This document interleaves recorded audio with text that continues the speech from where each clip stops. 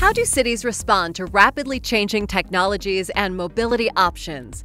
In May 2018, companies deployed hundreds of electric scooters onto Denver sidewalks virtually overnight, launching a new unlicensed and unregulated service.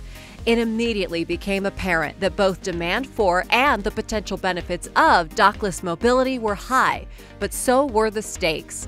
Officials recognize that without careful planning, safety concerns might outweigh benefits, such as first and last mile connections.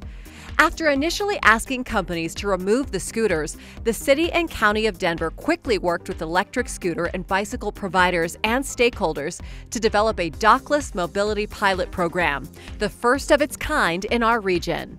The region's MetroVision plan anticipates a well connected transportation system that serves all travel modes. It recognizes the role of technology in improving personal mobility.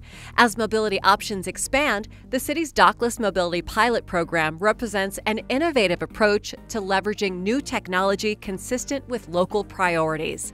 Denver Public Works began developing the Dockless Mobility Pilot Program around citywide goals for increasing access to public transit and reducing single occupant vehicle use.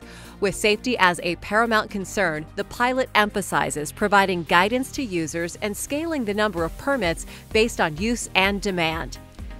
To provide first and final mile solutions, it encourages deployment of scooters and e bikes near public transit stops and popular amenities.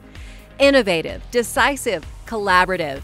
In considering how e bike and scooter users share pavement with pedestrians, cyclists, and vehicles, Denver has paved the way on an issue that will affect many other communities. Its groundbreaking approach will ultimately benefit the entire region.